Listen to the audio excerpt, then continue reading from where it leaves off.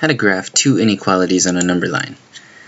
Okay, so we're given this problem here where we have to we have two separate inequalities and we have to put them on a single number line. Okay, so there's many ways to do this problem. I think when you're first starting out, the best thing to do is to uh, graph them separately and then combine them. Okay, so I'm going to go ahead and graph x is greater than equal to negative 7. Alright, so here's my number line right here. Okay, and there we go. Notice I have this big dot right here. It's pretty thick. Um, it's filled in.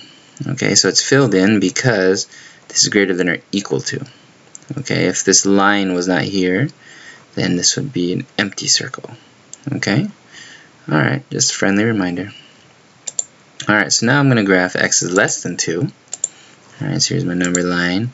Remember, less than 2 goes this way. Right? And notice there's no equals, that's why it's empty. Okay? Alright, so uh, that's very important. A lot of students forget this. That's why I have this scroll right here, just to remind you. Okay? Very important. So now we have the two separate ones, and we need to combine them. Alright, so in this case, we need to combine them where they overlap. Okay, sometimes you'll have graphs where they're separated, so then you'll just put them out here. But in this case, they overlap in the middle here. Alright, so here we go. So if we want to combine these two, right?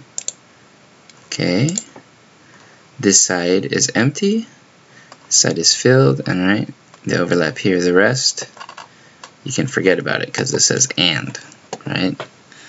Alrighty, that completes a problem.